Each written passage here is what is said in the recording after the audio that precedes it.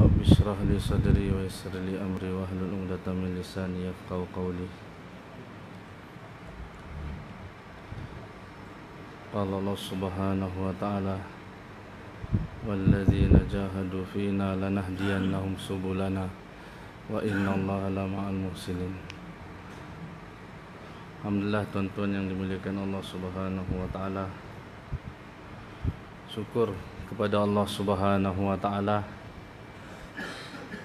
sebab Allah Subhanahu wa taala jadikan kita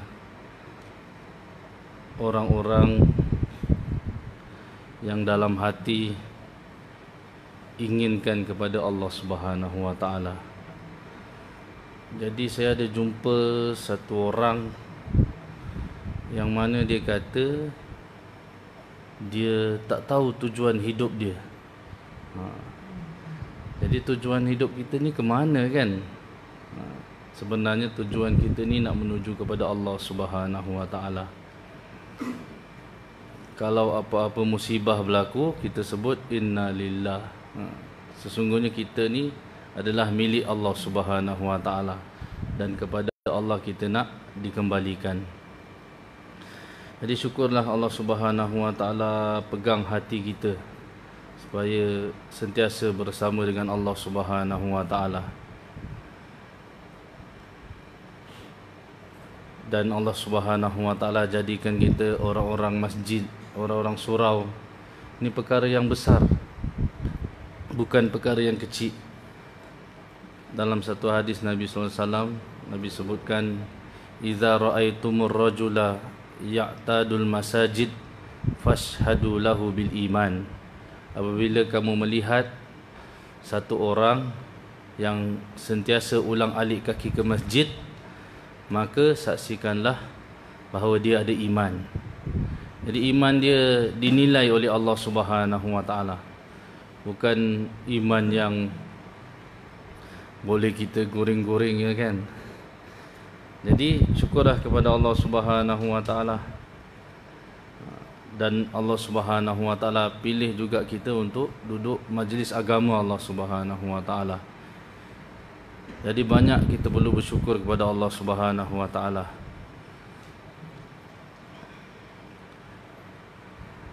Jadi alhamdulillah tuan-tuan yang dimuliakan Allah Subhanahu Wa Taala seperti yang dimesyuaratkan Suara tepi kan? Saya Diminta untuk baca Kitab apa? Tasawuf. Ha, Katanya dah baca dah Dekat sini ha, Tapi diulang lagi Kitab Bidayatul Hidayah Permulaan Hidayah Jadi Kita Bolehlah kita baca lagi sekali kan Kalau Fatihah pun kita baca apa 17 kali satu hari ha, kitab Bidayah Hidayah ni pun boleh juga baca 17 kali kan satu hari. Hmm. Biar dia lekat kan. Jadi tuan-tuan yang dimuliakan Allah Subhanahu Wa Taala antara ilmu yang kena dituntut ialah ilmu tasawuf. Ilmu untuk kita bersihkan hati kita. Bersihkan, sucikan, murnikan hati kita kepada Allah Subhanahu Wa Taala. Jadi tuan-tuan yang dimuliakan Allah Subhanahu wa taala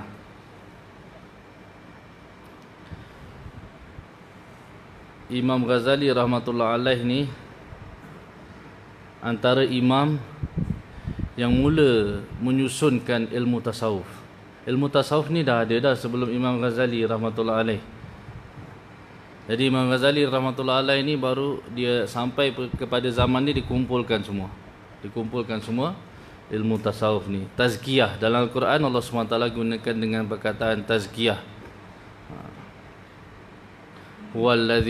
Fil ummiyin rasulan minhum yatlu alaihim ayatihi wa yuzakkihim ha. yatlu alaihim ayatihi wa yuzakkihim tazkiyah kita perlu kepada bersihkan hati kita hati ni mahallu nazarillahi subhanahu wa ta'ala hati tempat tilik Allah Subhanahu wa taala Allah SWT tilik terus kepada hati. Ini yang masalah. Kan? Allah SWT tak tilik kepada kebijaksanaan. Allah Taala tak tengok kepada kekayaan. Allah SWT tak tengok kepada rupa paras. Tapi tempat yang Allah SWT tengok kepada terus kepada hati. Nabi SAW sabda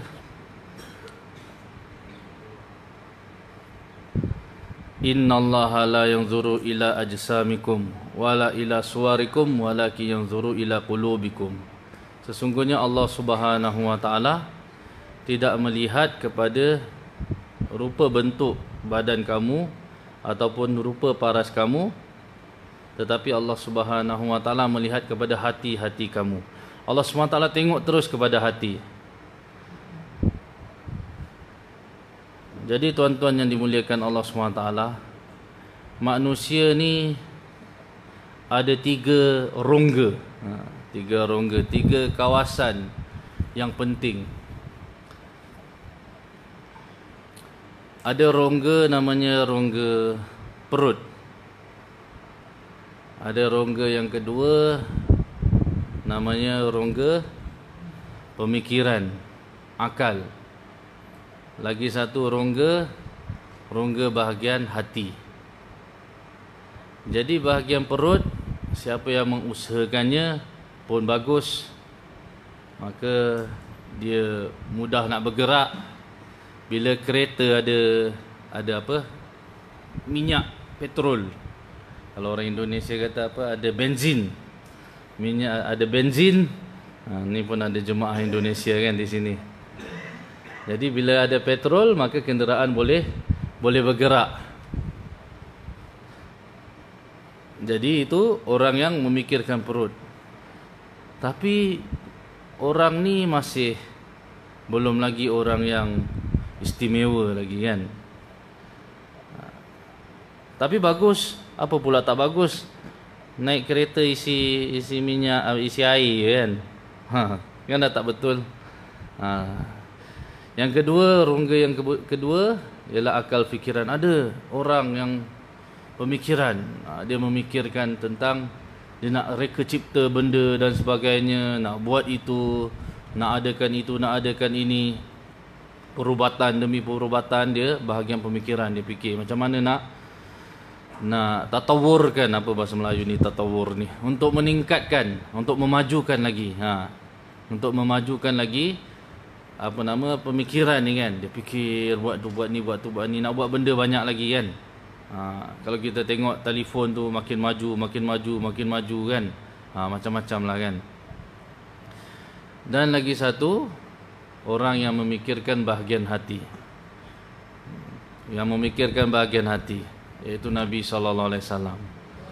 Jadi dalam semua ni kekuatan yang paling kuat sekali orang yang memikirkan bahagian hati. Ha, sedangkan orang yang ada teknologi tinggi sekalipun dengan senjata perang dan sebagainya kalau dia tak boleh usahakan atas hati dia dia masih tak kuat orang yang hati dia betul dia hati yang ada Allah Subhanahu Wa Taala. Jadi tuan-tuan yang dimuliakan Allah Taala bila kata ilmu tasawuf ni ilmu bahagian hati. Ha, nak menilik, menilik, pusing, pusing lagi gelas ni ada telinga dia nak tengok bahagian mana yang cacat lagi, situ kita nak tampal lagi. Pusing lagi gelas ni tengok oh kat sini ada pecah sikit kita nak suruh orang tu apa nama tampal plaster dia sikit. Jadi ini masalah hati tuan-tuan. Ha, kekuatan yang sebenar ada pada orang Islam ni apabila kita usahakan atas hati kita. Apabila hati kita diusahakan, hati kita betul kepada Allah Subhanahu Taala sebab kita ni bukan bukan plastik. Ha, luaran kan. Bahkan satu orang alim sebut kalau tak salah saya Imam Hasan Al-Basri rahmatullahi alaih sebut dia kata iza aslaha iza aslaha fulanan sariratuhu aslahallahu ala niyatahu. Kalaulah satu orang berusaha memperbaiki dalaman dia maka Allah SWT akan memperbaiki luaran dia Sebarang siapa yang usaha untuk memperbaiki dalaman dia memperbaiki hati dia. Ha, maka Allah SWT akan memperbaiki luaran dia. Jadi Nabi SAW ni pun sama faham muradullah faham kehendak Allah SWT maka Nabi SAW telah telah usahakan ke atas hati-hati manusia. Kalau dilihatkan memang orang musyrikin menyembah berhala. Ha, menyembah menyembah berhala tapi ulama kata Nabi SAW datang tidak datang-datang je pecahkan berhala memang perkara itu syirik tapi Nabi SAW tidak datang dalam keadaan memecahkan berhala tetapi Nabi SAW memecahkan berhala di dalam hati-hati manusia. Ha, Nabi SAW pecahkan hati apa berhala dalam hati-hati manusia. Nabi datang. Jadi tuan-tuan yang dimuliakan Allah Subhanahu Wa Taala, orang yang hati dia kuat dengan Allah Subhanahu Wa Taala, bantuan Allah Subhanahu Wa Taala pun kuat. Ha, kuat kepadanya. Jadi hati ni dia ada hubungan. Ada hubungan yang Allah Subhanahu Wa Taala ciptakan tu suatu yang istimewa. Dengan adanya Allah SWT ciptanya kita daripada tanah daripada tanah ni Allah SWT tiupkan roh dengan adanya roh yang dicipta dalam diri kita ni kita dah tak jadi macam plastik roh tu datang daripada Allah SWT dan dia makanan dia dia inginkan daripada Allah Subhanahu Wa Taala. Kekuatan yang dia inginkan juga kekuatan yang ada di sisi Allah Subhanahu Wa Taala. Kalau tidak tak gerak subuh tu susah. Ha, dia punya susah tu orang boleh angkat berat. Ratus-ratus kilo boleh angkat berat. Orang boleh angkat berat. Tapi untuk angkat selimut daripada nak bangun solat subuh ni bukan sebarangan. Ha, dia memerlukan taufik daripada Allah Subhanahu Wa Taala. Jadi tuan-tuan yang dimuliakan Allah Subhanahu Wa Taala, kita mulalah baca kitab ni kitab ni memang ajaib betul. Ha kitab Imam Ghazali ni memang ajaib. Ha saya masa saya duduk belajar dulu pun kitab ni duduk jadi tempat menilik dengan baca baca baca ha.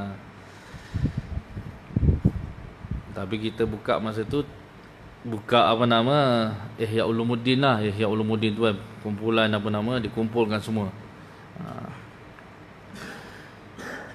Bidayatul Hidayah Permulaannya Hidayat Permulaan Hidayat hmm. Pendahuluan Muqaddimah. Bismillahirrahmanirrahim. Telah berkata Al-Imam Al-Alim Al-Allamah Hujjatul Islam wa barakatul anam Abu Hamid Muhammad ibnu Muhammad Al-Ghazali. At-Tusi rahimahullahu ta'ala. Segala puji bagi Allah subhanahu wa ta'ala sebenar-benar pujian Selawat dan salam tercurah kepada sebaik-baik makhluknya Penghulu kita Nabi Muhammad wasallam dan juga kepada keluarga dan para sahabatnya dan pengikutnya. Ha, Mula perkataan Imam Ghazali rahmatullah alaih dengan puji-pujian kepada Allah Subhanahu wa taala dan selawat kepada Nabi sallallahu alaihi wasallam. Ha. Dalam dan kita ni bila dengar nama Nabi SAW kita macam mana nak kata ah nak digalakkan lagi ke nak kena wajib dah. Ha. Selawat kepada Nabi SAW kan sebab Nabi SAW, Nabi SAW sabda al-bakhilu in uh, al-bakhilu min ummati man lam yusalli alayya. Ha, orang yang paling bakhil di kalangan umat aku ialah apabila disebutkan nama Nabi SAW dia tidak dia tidak sebut dia tidak selawat pada Nabi SAW. Al-bakhilu min ummati man idza dzukirtu indahu wa lam yusalli alayya. Orang yang paling bakhil di kalangan umat aku yang apabila nama aku disebutkan tidak dia selawat kepada Nabi SAW. Jadi kita selawat kepada Nabi SAW. Orang yang mulia kan. Ha. Ketahuilah wahai saudaraku yang sangat berminat dan mempunyai perhatian dalam mencari ilmu. Ha. Kita semua ni Alhamdulillah dekat surau ni semua suka cari ilmu. Ha. Kita mempunyai, mempunyai satu sifat namanya tolak. Ha. Ada keinginan untuk menuntut menuntut ilmu. Ada orang yang belum ada tolak. Ha, belum ada keinginan. Itu pun kita kena kesian juga. Ha, kesian mereka-mereka yang berada di luar-luar masjid. Dan kita kalau kita mampu kita pegang tangan mereka pimpin mereka pujuk rayu mereka datang kepada rumah Allah SWT jangan kita jadi mufti. Mufti cukuplah seorang kan. Kalau mufti ramai-ramai nanti gaduh. Ha, tak baik pula kan. Jadi kita jadi da'i kita ajak mengajak kan. Mengajak tak perlu keluar fatwa. Mengajak ni kita bang jom kita ke masjid. Ha, kan kita mengajak kita tarik dia datang kepada agama Allah Subhanahu Wa Taala dengan lemah lembut Ha, kita pula bukan mujahidin, kita dengan keras kan. Ambil batang kayu pukul dia kan. Ha, mari datang masjid. Pukul nanti. Ha, kan. Bukan kita datang, kita ajak kan. Bezanya mujahidin dengan dai, dai ini dengan lemah lemah lembut. Kalau berjihad, berjihad kena keras. Zahirkan diri kita ni bengis. Ha, kena tunjuk sombong depan musuh, bukan depan Allah SWT kan? Tunjuk sombong depan musuh saja bukan depan Allah SWT ha, macam kata Imam Bishrul Hafi rahmatullah alaih kata apa dia kata? At-tawadu indal mutakabbirin at-takabbur indal mutakabbirin tawaduan. Ha menyombongkan diri di depan orang yang sombong adalah tawadu Imam Bishrul Hafi rahmatullah alaih kata apa menyombongkan diri Ha, buat ketegak kan orang kata kan buat keras kepala, buat sombong di depan orang yang sombong. Ha, ini adalah tawaduk. Ha, tawaduk dia kata. Siapa Imam Bishrul Hafi? Imam Bishrul Hafi rahmatullah alaih imam yang sebelumnya orang-orang biasa juga. Ha, kita kata orang-orang yang biasa kan. Dia ni seorang yang dulu tak kenal dengan Allah Subhanahu Wa Taala. Macam mana Allah Subhanahu Wa Taala bagi hidayat pada dia? Ha, bidayatul hidayah kan kita nak kata permulaannya hidayah. Ini Imam Bishrul Hafi bukan Imam Ghazali. Imam Bishrul Hafi rahmatullah alaih Allah Subhanahu Wa Taala muliakan dia sebab dia muliakan Allah Subhanahu Wa Taala.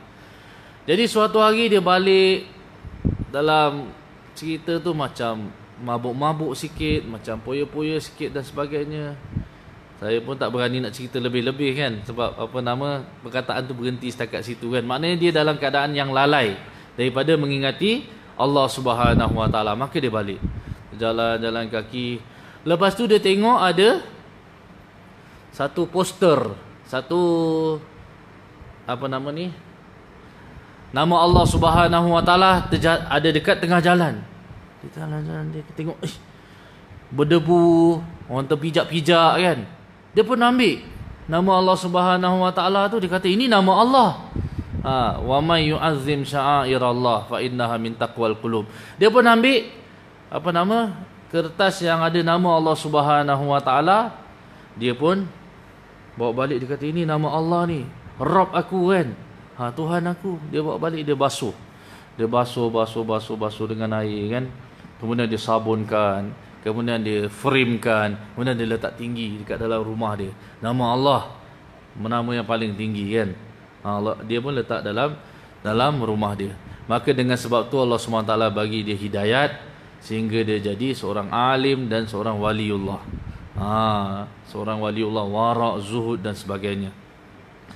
Jadi tuan-tuan yang dimuliakan Allah SWT suatu hari dia sezaman dengan siapa? Zaman Imam Ahmad bin Hanbal Ha, rahmatullah alaih semua killer-killer lah kita kata kan. Orang yang hebat-hebat.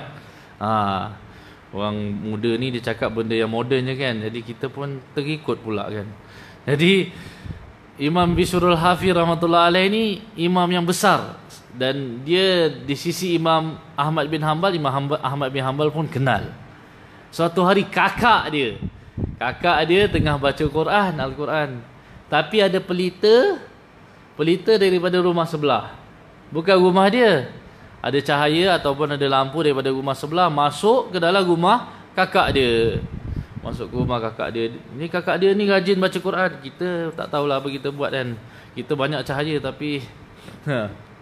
dia tumpang cahaya daripada rumah rumah sebelah. Cahaya tu masuk. Dia pun ambil Quran dia baca. Bismillah. Baca baca baca baca dah sampai separuh-separuh lama. Ish, Aku ni ambil cahaya daripada rumah sebelah. Kan? Kadang-kadang rumah sebelah ni dia ada spotlight kan? Ha, tak payahlah pasang lampu jimat elektrik sikit spotlight ni masuk pula terus ke rumah kita kan. Dia punya pancaran dia. Ha. Jadi dia kata tak payah. Dia kata, ish, aku ni ambil lampu rumah sebelah. Macam mana pula Quran aku kan? Dia pun beritahu Imam Bishrul Hafi, dia punya adik adik dia ataupun abang dia. Ha, sebab ukhtun ni dalam bahasa Arab ni boleh jadi kakak, boleh jadi adik. Jadi kalau kata ukhtun kabir, barulah kita kata kakak yang besar kan? jadi boleh jadi kakak, boleh jadi adik kan? Dia pun kata kepada Imam Bishrul Hafi, adik ataupun abang, macam mana masail ni ya? Saya baca Al-Quran. Tapi cahaya masuk ke rumah saya, saya tumpang cahaya dia je bang. Ha, kalau kita kata abang lah, kalau kata adik, saya tumpang cahaya dia je dik. Macam mana nak buat ni?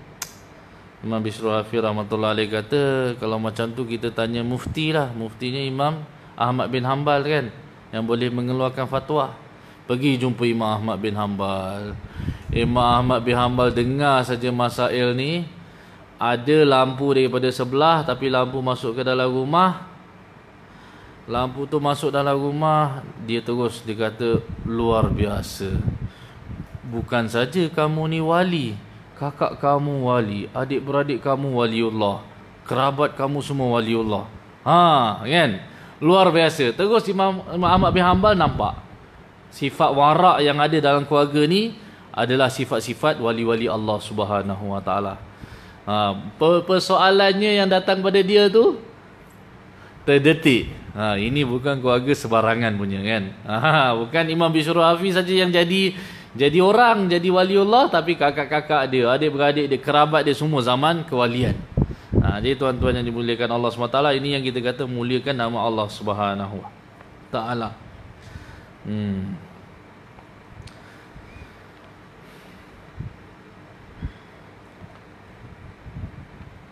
Ketahuilah wahai saudaraku yang sangat berminat dan mempunyai perhatian dalam mencari ilmu yang telah menunjukkan himmah, ha, kesungguhan yang tinggi. Himmah ni kesungguhan lah bahasa Arab ni.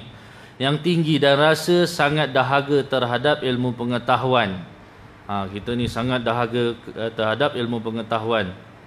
Ha, dua perkara yang mana manusia tidak puas-puas mencarinya kalau dia dapat rasa kemanisan dia pertama ilmu keduanya harta harta pun seronok juga kan ha dia kalau ada sebukit dia nak lagi satu bukit kan? Seandainya engkau berniat dengan mencari ilmu untuk berlumba-lumba dan mendapatkan kemegahan dan terkemuka di kalangan kawan-kawan dan untuk menarik perhatian orang ramai terhadap dirimu dan menghimpunkan akan kekayaan dunia maka sebenarnya engkau telah berusaha menghancurkan agamamu dan membinasakan dirimu sendiri dan menjual akhiratmu dengan mendapatkan harta benda dunia. Ha. Eh tuan-tuan yang dimuliakan Allah SWT. Ha, bila bidayah hidayah ni memang apa nama orang yang datang kepada Imam Ghazali rahmatullah alaih menuntut ilmu kan dan Imam Ghazali rahmatullah alaih beri nasihat. Bila ilmu yang kita inginkan ni untuk kemegahan, untuk menghimpunkan kekayaan, untuk kita rasa bangga, oh aku boleh jawab semua kan. Aha, depan orang dan sebagainya. Maka ilmu yang macam ni yang kita ambil ini sebenarnya nak menghancurkan diri, diri kita. Ilmu tu tak rosak. Ilmu tu macam duduk di dalam lautan yang atas dia penuh dengan sampah. Ha, duduk dalam dalam lautan yang dalam, dalam satu peti dan lautan tu penuh dengan sampah. Ha, sebab apa nama? Ilmu tu memang bersih, dia intan, belian, permata, emas dan sebagainya. Tapi bila kita tak bersihkan betul-betul, maka kita pakai, maka kita pun lekat juga dengan sampah tu. Jadi Imam Ghazali rahmatullah alaih Ha. dia telah nasihat kita semua untuk kita cari ilmu ni sebenarnya cari ilmu untuk menuju kepada siapa menuju kepada Allah Subhanahu Wa Taala ini penat ni belajar ilmu tasawuf ni ha ilmu tasawuf ni penat ya orang muda biasa dia tak minat sikit ha orang tua-tua dia dia kita ke arah situ kan ha kita ke arah situ ha, ilmu ni dia nak tinggi sikit ketuk nak tinggi sikit, ketuk lagi. Tak boleh tinggi. Mana boleh tinggi? Ha, dalam Quran Allah SWT sebutkan, siapa orang yang mahukan akhirat? Mereka yang tidak mau meninggikan diri. menunjukkan kehebatan diri kan? Ha, la yuriduna uluwan wala fasada kan? Dia tidak mau menunjukkan ketinggian. Ha, ah bukan tawaduk depan manusia pula. Tawaduk depan manusia lain dengan tawaduk depan Allah. Ha, dia tawaduk depan manusia tapi hati eh aku ni hebat. Aku bukan sembarangan orang. Nabi sabda man tawaddaa lillah rafa'ahullah barang siapa merendah diri depan Allah Allah SWT angkat angkat darjat dia. Dia main hati. Sebab tu syaitan datang dia bukan bawa senjata dia mainan dia mainan hati. Ha. saya duduk dengan Ustaz Tohir kan? Hafizahullah kan? Ustaz Tohir dia kadang-kadang dia ada kawan-kawan dia yang duk ngubat apa? Ngubat jin ni kan?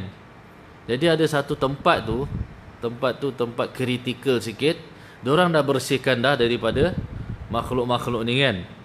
Dah bersihkan daripada makhluk-makhluk ni. Udah dah pasang pagar. Satu kawan ni ni kawan Ustaz Tohir ni Ustaz Tohir yang kita kenal kan? Dia apa nama kawan dia tu dah pasang pagar semua satu rumah tu. Lepas tu tembus. Pagar tu tem tembus. Lepas tu cek lagi sekali daripada jauh. Ha, dia ada lah kan amalan dia kan dan dia boleh tahu kan dia cek daripada jauh ish ada pagar macam mana boleh masuk lagi? Kan? Ha, ada pagarnya tapi macam mana boleh masuk? Ha, dekat situ apa nama? Dekat terdetik hati, pagar tu besar, kuat kita pasang. Tapi boleh tembus lagi. Ha, ni yang biasa ngubat ni dia faham lah kan? Ha, bahkan satu sedara ni dia boleh boleh nampak. Ada orang yang Allah SWT buat boleh nampak kan? Ha, mata dia tu boleh nampak benda-benda macam ni kan? Cek-cek boleh. Ustaz Tahir dengan satu kawan dia ni Dia cerita dengan saya kan Dia suruh saya belajar Saya cakap alamak Nanti kan saya kena tarik terus ke rumah Tak larat lah penat Kita punya benteng pun kena kuat juga kan ha. Jadi tak nak buat, buat masa ni hold lagi Hold ha, Bukan kata tak nak lah hold dulu ha, Nak jadi Tok Bomo ni kan Tok Pawang ni kena hold dulu ha. Jadi Tengok tembus Lepas tu dia kata Ish Pagar ni besar. Kita buat amalan dah kuat dah. Macam mana boleh tembus rumah ni kan? Ha, dekat situ ada sikit mainan hati. Akhir-akhir bila cek balik dia datang dalam keadaan rupa yang buruk. Datang dalam keadaan rupa yang buruk waktu dia pergi. Datang rupa yang buruk pergi kan. Rupa-rupanya bukan bukan jin yang datang tu jelah syaitan. Syaitan yang datang. Jadi syaitan datang dalam keadaan rupa yang buruk dan dia nak beritahu dan dia gosok hati pula kata kita punya kuat lagi kan? Kita ni kuat. Ha, dia nak kata kita ni kuat. Sebenarnya nak kata Allah yang yang kuat yang betulnya Allah yang kuat. Sebab tu kita kena nafikan. Ha, dia mainan dia mainan hati. Kalau kalah dengan hati cukuplah. Ha, ni syaitan punya kerja. Mainan dia mainan mainan hati. Jadi ulama-ulama yang apa hebat-hebat ni yang sangat memikirkan pasal hati ha, dia cakap pasal ni ilmu ni Ha, sebab tu kita mula-mula je baca cakap alamak kan pasal ilmu saja dia dah tegur dah. Ilmu apa yang kamu inginkan sebenarnya? Maukan kemegahan. Ha, maukan menunjuk-nunjuk. Ha, Imam apa Imam Malik bin Dinar rahmatullah alaih kata dia kata apa nama? Bila kita mula bercakap ah yang yang depan ni yang paling bahaya sebenarnya nampak macam seronok kan duduk kat kerusi ni kan. Ha, tapi sebenarnya paling paling bahaya Imam Malik bin Dinar rahmatullah alaih bila dia nak mula bercakap saja dia dah mula menangis menangis menangis. Dia kata, dia kata apa yang aku inginkan sebenarnya? Inginkan keredaan Allah ataupun inginkan harta ataupun inginkan kemegahan? Mau muka kita masuk kepada setiap video-video semua sampai semua orang tengok kan ha mana apa yang kamu inginkan ha kita nak cek hati kita kan ha ni Malik Imam Malik bin Dinar rahmatullahi alaih menangis menangis menangis banyaknya menangis takut kepada Allah Subhanahu wa taala Mudah-mudahan Allah SWT berikan kita sifat takut kepada Allah SWT. Maka perjualanmu adalah rugi. Dan perniagaanmu porak peranda. Dia kata ilmu yang kita cari untuk datangkan kemegahan. Ilmu yang kita cari untuk datangkan kekayaan. Ilmu yang kita cari untuk untuk apa nama? Untuk uh, tunjuk pada manusia apa yang jadi. Waliyazubillah.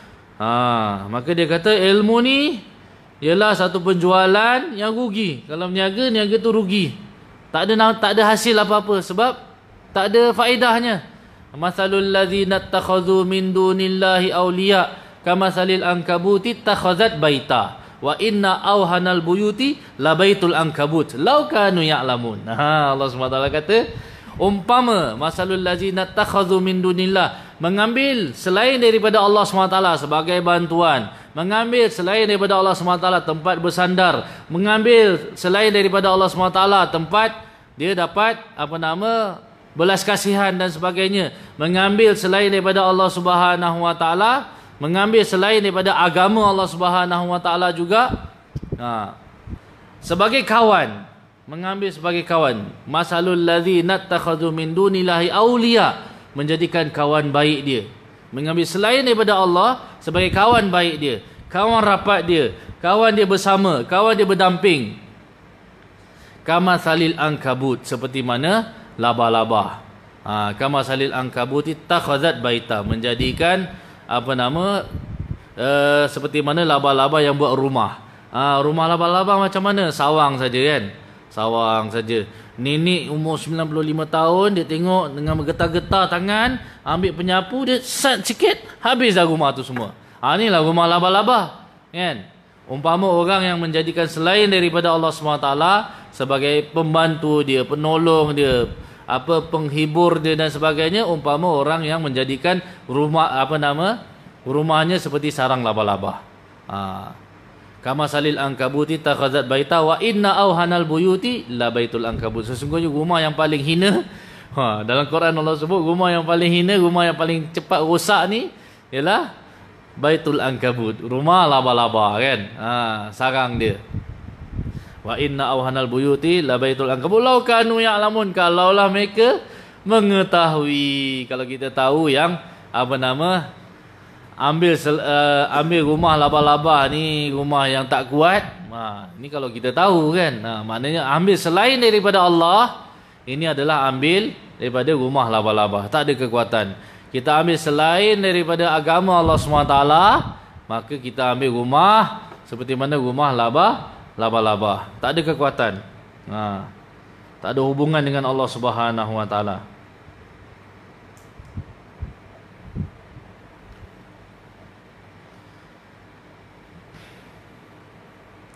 Maka penjualanmu adalah rugi dan perniagaanmu porak-peranda dan guru yang mengajarmu adalah dikira menolongmu di dalam membuat maksiat. Dan ia juga akan merasakan kerugian. Ketika ini guru yang mengajarmu itu laksana seorang yang menjual pedang kepada perompak seperti sabda Rasulullah sallallahu alaihi wasallam man aana ala maksiatin walau bi syatrin kalimat bi syatri kalimatin kana syarikan lahu fiha. Barang siapa yang membantu orang melakukan maksiat walaupun dengan ha ini yang bahaya ni walaupun dengan sebahagian perkataan dia. Sebahagian perkataan dia maka dia telah membantu seseorang dalam membuat membuat maksiat. Ha, dia telah bersama-sama dengan orang tu dalam dalam membuat maksiat. Ha.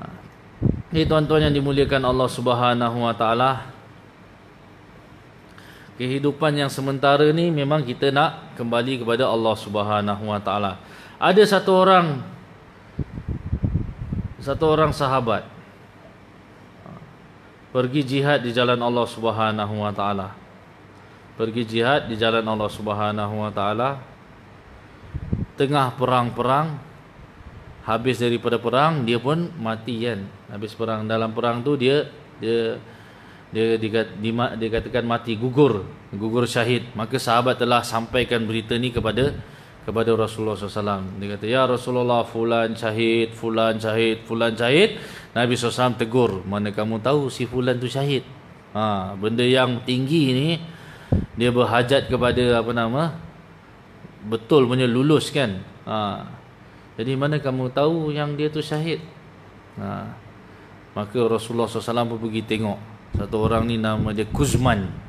Ha, pergi tengok, Nabi kata si fulan ni tak syahid dia telah bunuh diri ketika dalam peperangan. Sebab perang tu sakit. Dengan sakitnya itu dia nak cepatkan diri dia untuk mati. Maka dia telah ambil pedang dia tikam tikam-tikam diri dia. Waliazubillah ha.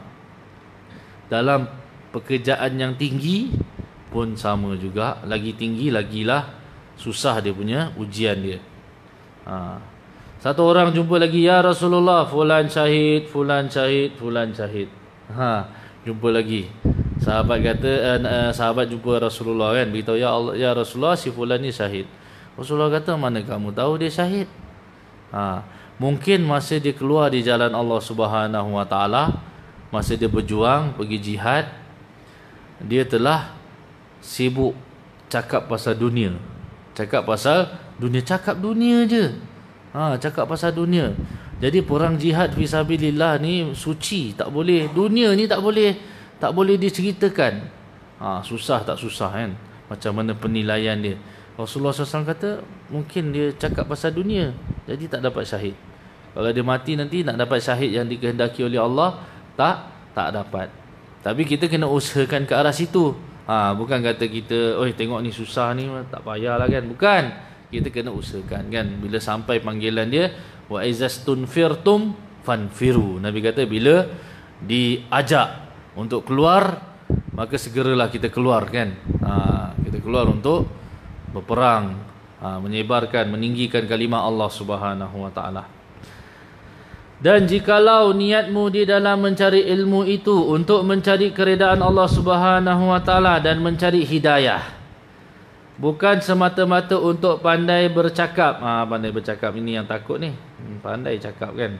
Maka hendaklah engkau bergembira kerana para malaikat telah mengembangkan sayap-sayapnya apabila engkau berjalan dan ikan yang ada di dalam laut semuanya memintakan ampun bagimu apabila engkau berjalan apabila kamu kamu berjalan jadi berkata Imam Ghazali rahmatullah alaih dia buat ni sebenarnya satu hadis Nabi SAW kan? Bila satu orang keluar untuk menuntut ilmu agama Allah Subhanahu Wa Taala semata-mata kerana Allah Subhanahu Wa Taala untuk meninggikan agama Allah. Sebab tu dalam satu hadis Nabi ada sebut Ha, man ta'allama ilma barang siapa belajar ilmu agama Allah SWT liyuhya bihil Islam untuk menghidupkan agama Allah Subhanahu wa taala menghidupkan Islam laisa bainahu wa bainal anbiya illa darajah. Tidak ada antara dia dengan para nabi melainkan satu darjat. Ha, sebab niat dia untuk menghidupkan agama Allah Subhanahu wa taala. Kita belajar satu ilmu untuk hidupkan agama Allah maka tidak ada kita dengan para nabi-nabi melainkan satu darjat saja. Melainkan satu darjat. Iaitu darjat nubuwah tu datang daripada Allah Subhanahu taala itu yang kita tak kita tak dapat.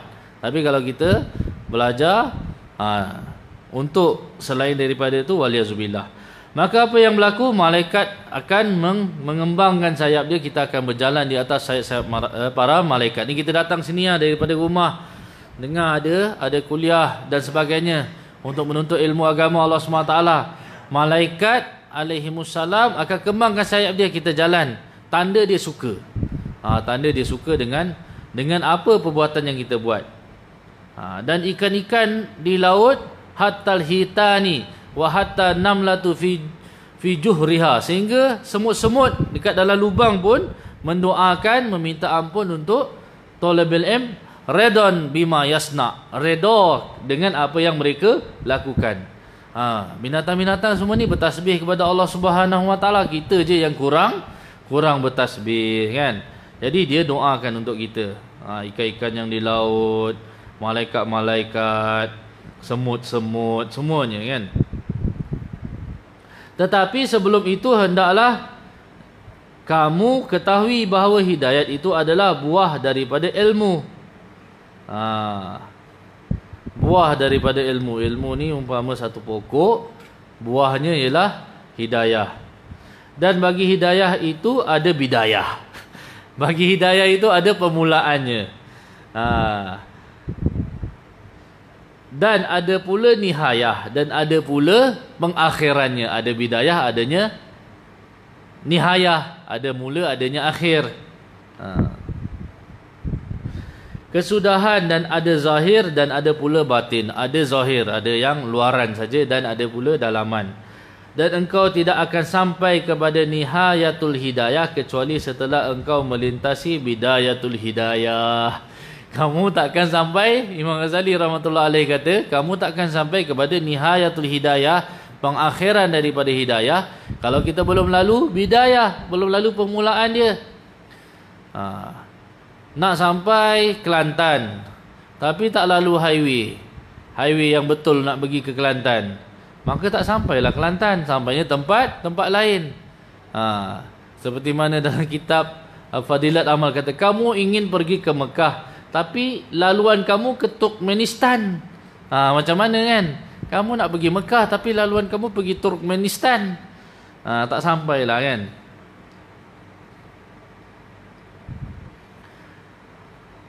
Dan eng, dan engkau dan kamu tidak akan dapat menyelami batin hidayah kecuali setelah selesai daripada menyempurnakan segala urusan yang berkenaan dengan zahir hidayah itu.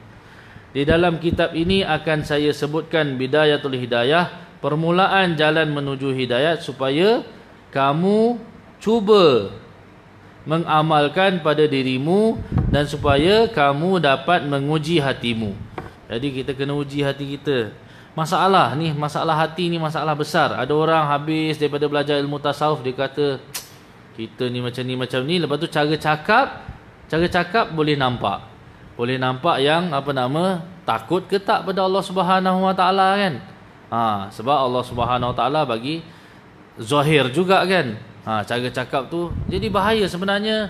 Dia masalah masalahnya bukan mengadu dengan orang aku ni tak pandai, aku ni tak baik, aku ni ah, tak apa-apa kan. Ha, sebenarnya kita cakap macam tu untuk orang untuk dalam hati kita kata tak ada kau ni bagus kan. Ha, kita nak orang cakap macam tu kan. Ha, itu nanti kita akan sambung nanti yang belajar. Seandainya kamu dapati hatimu cenderung kepadanya dan nafsumu mahu mengikuti arahan dan ia dapat memberikan perhatian yang sewajarnya, maka nanti kamu akan sampai kepada nihayatul hidayah. Jadi kitab ni kata Imam Ghazali rahmatullah alaih kata kalau kita belajar dan kita ada rasa cenderung, rasa suka pula dengan belajar ilmu ni. Ha, ini yang mahal ni nak cenderung pada ilmu tasawuf ni ilmu ni macam ngantuk je kan. Ha, saya dulu duduk dengan ustaz yang ngajar tasawuf aduh ngantuk je kan belajarnya kan. Dia macam tak berapa seronok sikit. Ha, dia tak berapa mencerna. Tapi memang macam tu lah kan. Ha. jadi dia kata kalau kamu suka ha, syukur Alhamdulillah sebenarnya kan. Sebab dia nak bersihkan yang dalam-dalam tu karat-karat tu. Ha, karat-karat ni bukan orang sebahagian orang yang biasa-biasa boleh baiki kan dia kena pergi spesialis ha, lampu signal motor tak boleh on tukar mentol tak dapat tukar tu tak tak ini akhirnya kena pergi spesialis bahagian elektronik bahagian elektrik baru dia kata oh ni wire ni ada satu ni dia dah short ni kenapa kadang lampu tu dia kelip laju tak tak tak tak tak tak tak tak tak tak lampu signal dua-dua depan belakang dah ada mentol ha kalau tengok kan ada satu van hamba Allah Taala tu Baiki dah mentol dia Mentol dia dah gosong. Orang Indonesia kata Udah gosong Udah hangus Kan? Hitam legam dah Tukar dah. Dah tukar dah kan? Ha, Saya punya van lah tu. Baiki dah. Tapi dia punya lampu Punya laju kan tek, tek, tek, tek, tek, tek, tek, tek, tek. Ha, Tak apalah. Biarlah laju-laju pun kan Tak ada masalah. Tapi sebenarnya dia ada bahagian. Ha, Kalau orang pakar kata ha, Dia ada bahagian ni Bahagian ni adalah yang rosak dia. Ha, Kita pun tak bawa pergi baiki Tak apalah. Lampu tu kelip-kelip kan. Ha, Dia kelip laju sikit kan Nah, jadi ilmu tasawuf ni ilmu ulama tu ha, Imam Ghazali rahmatullah alaih telah buatkan satu susunan cantik ha, untuk kita perbaiki hati kita. Kita kena terus lagi baiki hati kita dalam dalam nafikan diri je sebenarnya la ilaha illallah. Dia kat situ je sebenarnya. Nafi isbat. Ha, kita boleh nafikan orang lain. Harta kamu tak bagi manfaat, tak bagi mudarat. Ha, Rumah kamu tak bagi manfaat, tak bagi mudarat. Ha, diri kamu tak bagi manfaat, tak bagi mudarat. Tapi saya, saya ada manfaat. Duit saya pun ada manfaat, ada mudarat kan. Ha, saya ada duit, senang. Tapi duit orang lain semua tak ada manfaat, tak ada, tak ada mudarat. Betul tak? Tapi duit saya banyak manfaat. Ha, banyak manfaat. Ha, sebenarnya kita silap. Sebenarnya yang nak nafikan tu diri kita. La ilaha. Aku pun tak ada manfaat, tak ada mudarat. Diri aku pun tak ada manfaat, tak ada mudarat.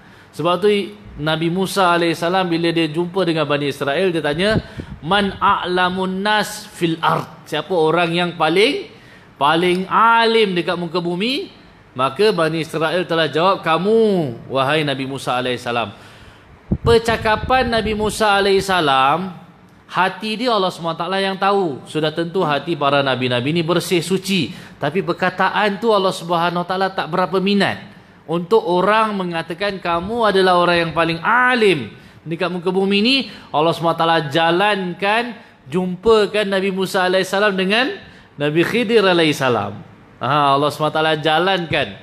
Ha, pergi jumpa satu hamba Allah. Ha, Allah SWT punya kona Allah SWT tak kata wahai Musa AS perkataan ni tak bagus. Aku tak berapa minat. Tapi Allah SWT kata kamu cuba pergi jumpa satu hamba yang soleh ha, hamba aku yang soleh tengok macam mana ilmu dia. Ha, dia Allah, Allah Ta'ala suruh jumpa lah Suruh pergi jumpa. Pergi-pergi jumpa jalan. Dia kata Ish Allah SWT tegur aku ni. Kan?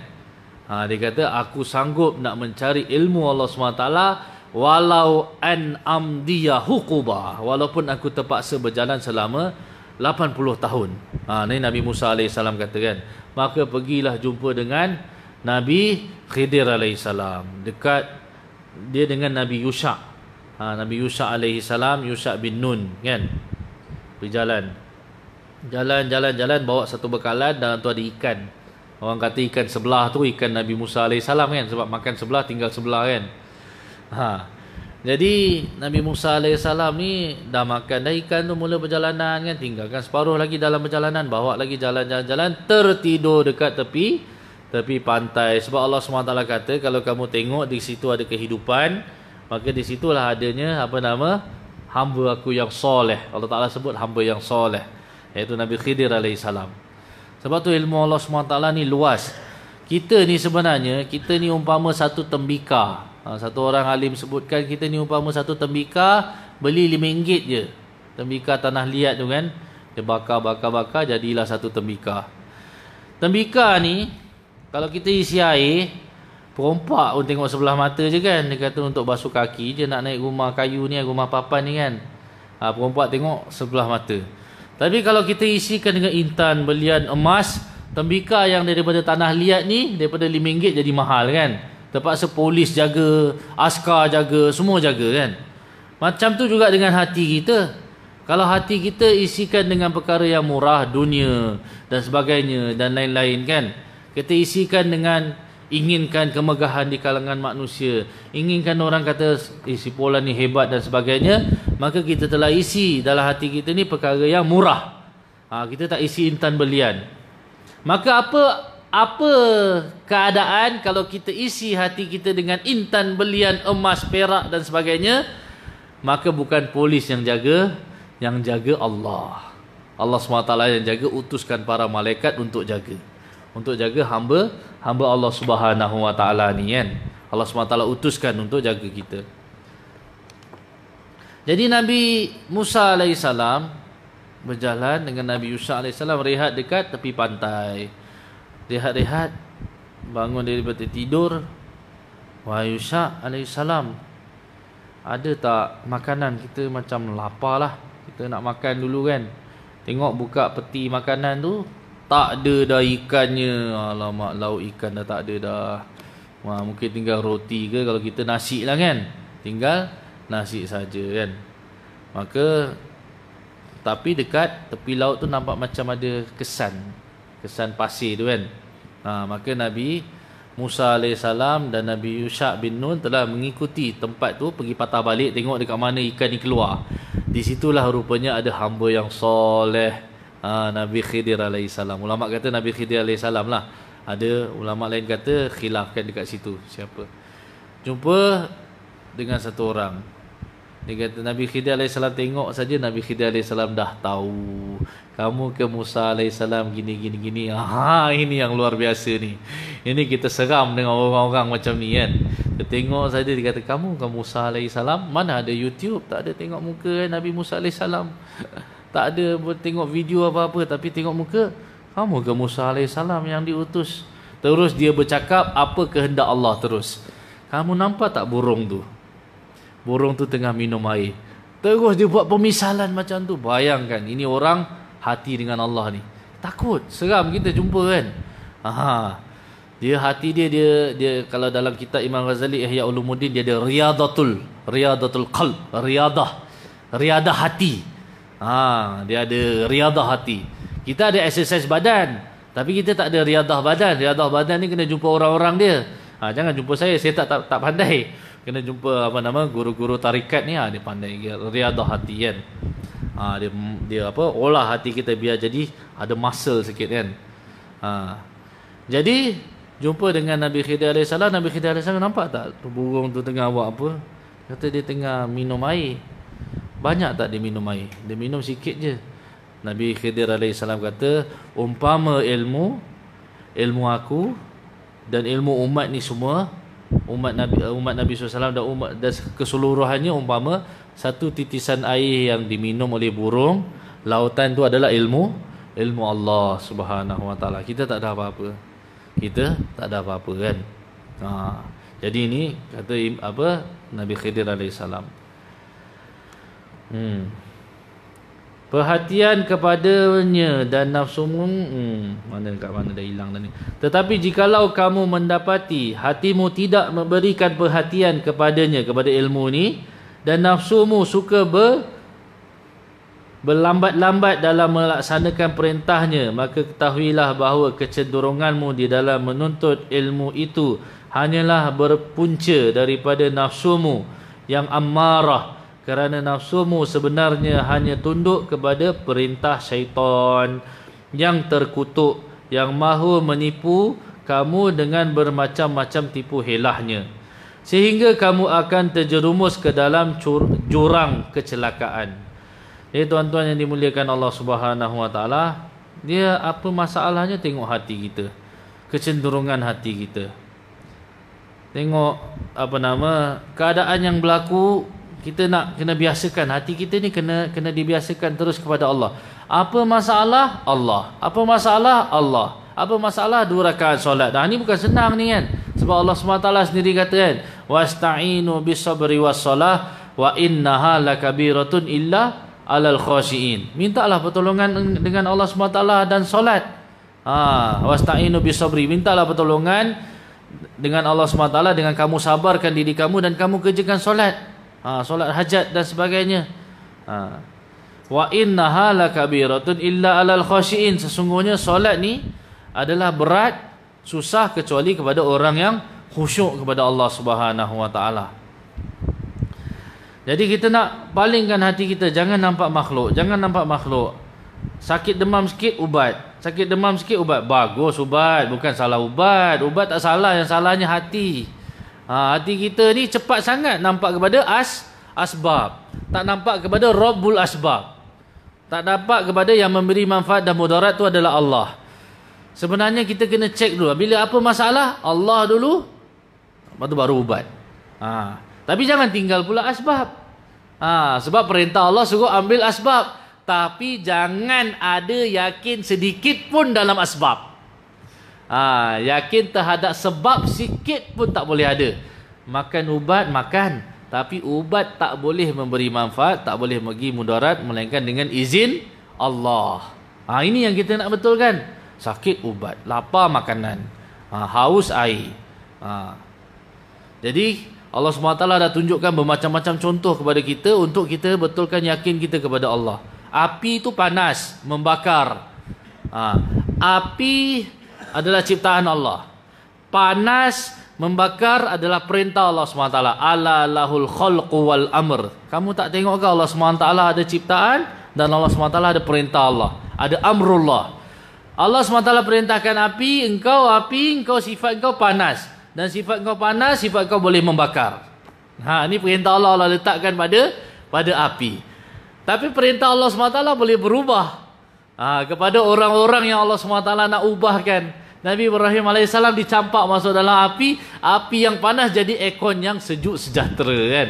Kuni bardan wasalama ala Ibrahim. Wahai api engkau jadilah sejuk dan sejahtera kepada Nabi Ibrahim AS sahaja. Orang lain Namrud panas. Kalau dekat lagi terbakar kan? Ha, sebab Allah SWT letakkan amrullah dengan khalq Khalqullah lain kan. Allah SWT asingkan. Allah cipta dan Allah letak amrullah. Ha. Jadi apa nama manfaat mudarat di sisi Allah. Bukan kata tinggalkan. Kita nak masak lepas ni tak payah pakai api dah. Kita pakai kayu je letak atas, atas meja ni kan. Nanti dia masak sendiri. Tak boleh.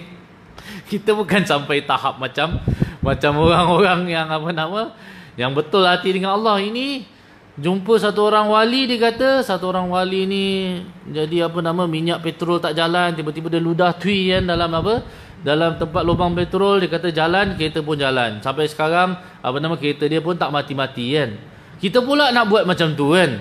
Datang bagi yang kahak punya ha, ludah dalam tu. Mustahil berjalan.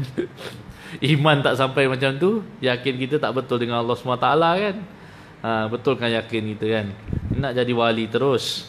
Nak jadi paling tinggi terus bagus. Bukan kata tak bagus tapi laluan dia tu. Ha. syaitan sebenarnya bermaksud supaya kamu melakukan kejahatan padahal kamu mengira bahawa kamu telah berbuat kebaikan. Allah ha, ini masalahnya. Kita kadang kita sangka kita ni buat baik ni Ha, sebab tu dia masalah dia masalah hati sebenarnya. Nampak macam dah betul dah. Laluan tu dah betul. Betul. Memang kata betul. Bukan kata tipu. Semayang pun betul. Syarat sah semua selesai kan. Syarat sah rukun semua betul. Tapi hati tu.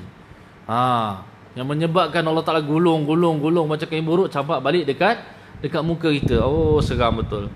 Ha, sebab tu kena baca kitab ni. Ha, kitab ni kalau baca, ha, habislah kita kata. Semua amalan aku tak diterima balik sia-sia je kan. Ha, tu penting baca kitab ni kan. Kalau tidak kita rasa wah semayang aku lah yang paling baik kan. Kopiah semua dah betul lah tegak lu elok eh serban pakai lagi ha, 70 kali ganda pahala kan. Ha, dia punya zahir dia nampak dah. Ha, tapi bukan bermaksud tinggalkan sunnah Nabi dalam semayang. Ha. jangan salah kan. Balik rumah ni lepas tak payah pakai serban lah. Buka campak kan. Kopiah pun campak tak payah. Yang penting hati kan pakai seluar jin kan. Seluar jin mula dipakai ni kan Ha, lepas tu semayang. Boleh nak pakai seluar jin yang tak salah pakai seluar jin kan. Bukannya haram. Ha, maksudnya kan. Wallahualam. Terus. Allah SWT firman. Bismillahirrahmanirrahim. Qul. Qul hal nunabbi'ukum bil akhsarina a'mala alladzina dalla sa'yuhum fil hayatid dunya wa hum yahsabuna annahum yuhsinuna sun'a wal Allah SWT kata kepada Nabi SAW, katakanlah wahai Muhammad, nunabbi'ukum bil akhsarina a'mala. Iaitu kami nak beritahu orang yang paling rugi sekali amalan dia. Oh, buat amal banyak. A'mala, bukan amalun, bukan satu amal saja. A'mala, banyak amalan dia buat. Tapi amalan dia merugikan dia sendiri. Rugi dunia, rugi akhirat. Waliyazubillah alladzina dalla sa'yuhum fil hayatid dunya yang mana mereka ni sesat perjalanan kehidupannya di di di dunia ni. Kehidupan dekat dunia ni perjalanan dia dah mula sesat dah. Dan mereka menyangka mereka mengira-ngira bahawa mereka melakukan amalan yang baik. Ha perbuatan mereka baik. Allah akbar. Dan Allah pelihara kita kan? Ha.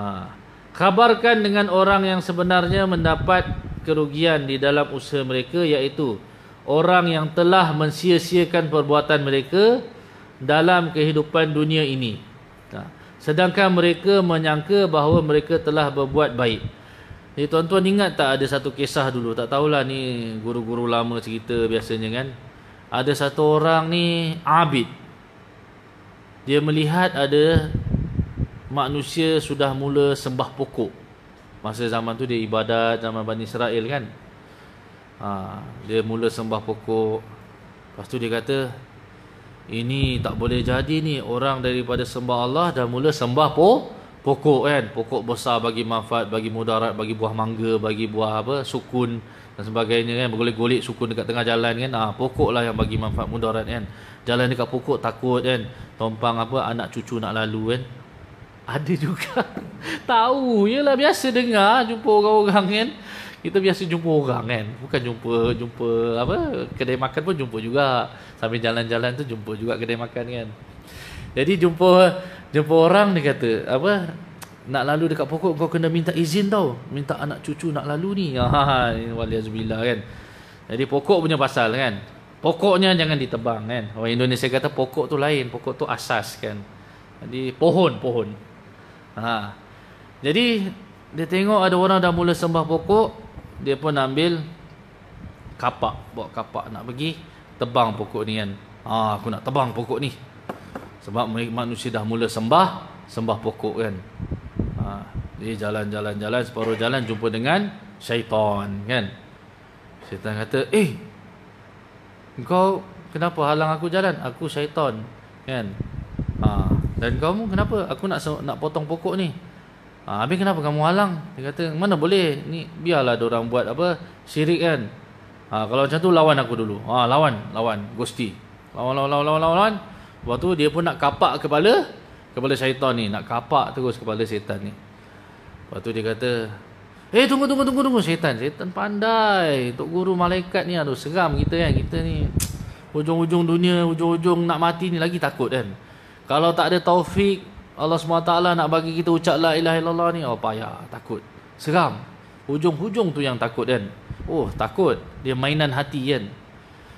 Syaitan kata, tunggu, tunggu, tunggu. Sat, sat, sat, sat, sat, sat. Ha, bagi masa sekejap. Ha, dia kata, kau nak tak? Kau kan abid. Ibadat tak kaya-kaya kan? Duduk kan? Mana ada orang ibadat sini tiba-tiba dapat emas, emas, emas kan? Tak ada.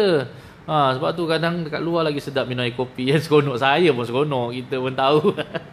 Suka kan? Ha, ni kita sekadar sikit-sikit lah kan? Ha, jadi apa nama nak duduk sini dapat emas mustahil kan? Ha. Jadi duduk berzikir dia oh kat luar lagi sedap lagi panggilan yang seronok. Ha, bukan kata salah, tak salah. Ni orang surau ni bagus. Tak ada ni tak, tak ada kena mengena pun. Ni hati kan, hati kita. Jadi dia kata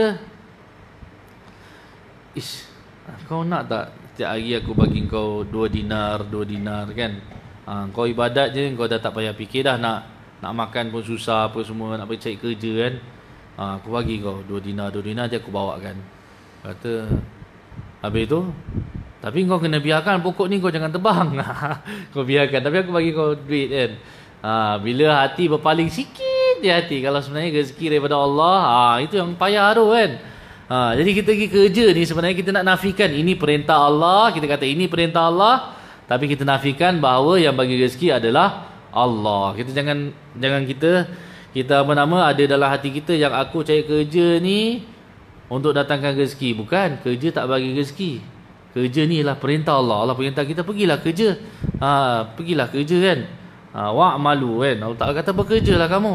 Tapi yang bagi rezeki adalah Allah kan. Jadi apa yang berlaku dia pun balik dia kata nanti bawa bantal kau kau bangun tidur ya kau tengok ada dinar ada dua dinar. Dia pun tengok satu hari oh ada dua dinar eh banyak ni duit ni kan. Oh dua dinar. Besok tidur lagi. Ha, dah tak buat kerja menebang pokok kan. Tidur lagi dapat lagi dua dinar lagi kan. Ha, besok hari ketiga tengok dah tak ada dah dinar dia. Allah tak ada pula dah. Baru ingat Allah balik kan. Dinar dah tak ada ingat Allah balik.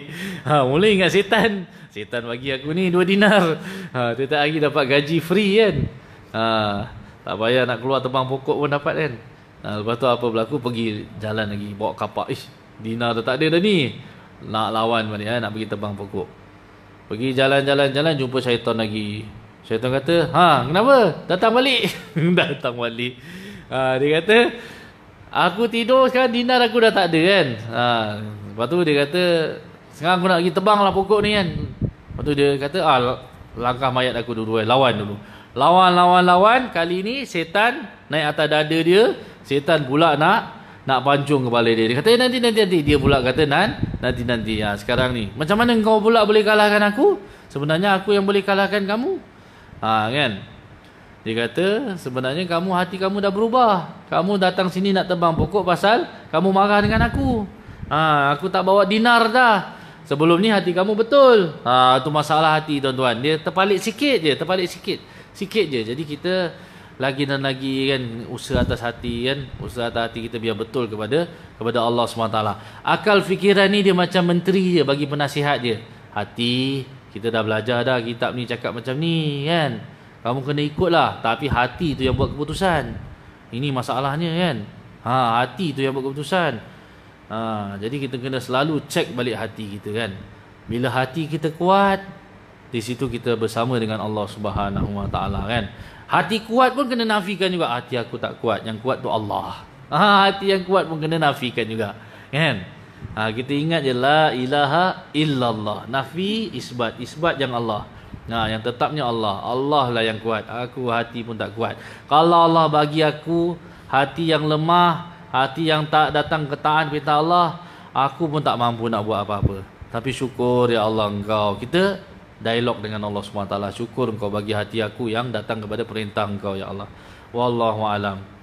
Ha, kita mudah-mudahan kita berhenti setakat ini apa nama yang baik daripada Allah Subhanahu Wa Taala dan kita yang baik ni jangan lupa untuk sampai sampaikan muru bil ma'ruf. Ha, sampaikanlah apa nama? Perintahkanlah orang melakukan kebaikan anak bini kita yang tak ada kerabat kita. Kalau duduk borak-borak datang rumah keluarga petik sikit pun jadilah. Jangan nak siram semua sekali. Nanti kan dia tengok muka kita adik-beradik pun cakap ini ini datang nak bagi aku wasiat ni. Apa nak bukan wasiat wasiat duit tak apa. Nak cakap aku agama kan? Betul tak? Ha, orang sekarang zaman sekarang cakap agama ni dia tak seronok. Ha, dia tak ada kemanisan kan? Tapi kena cakap juga. Jangan tinggalkan. Kena cakap. Ha kena cakap kan? Jadi kita cakap dengan lemah lembut lah. Kita ni semua da'i du'atan ilallah. Kita semua ni bukan saja sini seluruh umat Nabi SAW adalah umat yang terbaik. Ha, sekiranya dia amru bil ma'ruf nahyanil munkar. Ha, dia kita semua kena cakap agama Allah SWT cakap apa yang kita tahu. Tapi fatwa kembalikan kepada ulama. Ha, kalau kita cakap fatwa kita akan salah. Ha, fatwa ni kembalikan kepada ulama-ulama yang mengeluarkan fatwa kan Ha, tapi kita jumpa orang, kita cakap benda yang baik. Ha, muru bil ma'ruf kan. Hati kita betulkan. Dalam bercakap pun kena nilai juga hati aku. Aku cakap ni aku macam baik sangat ke? Ha, kita kena kena kembalikan pada pada diri kita. Wallahu alam. Ha, yang baik daripada Allah SWT yang lemah atas kelemahan, kelemahan saya sendiri tutup dengan tas, uh, kafaratul majlis subhanallah bihamdihi subhanakallahumma bihamdika asyhadu an la ilaha illa astaghfiruka Bismillahirrahmanirrahim alhamdulillahirabbil alamin wassalatu wassalamu ala asyrafil anbiya'i wal mursalin wa ala alihi washabihi ajmain Allahumma inna nas'aluka wa li walidina wa li azwajina wa li zurriyyatina wa li ahbabina wa li ikhwanina al-afwa wal afiyah fid dunya wal akhirah wa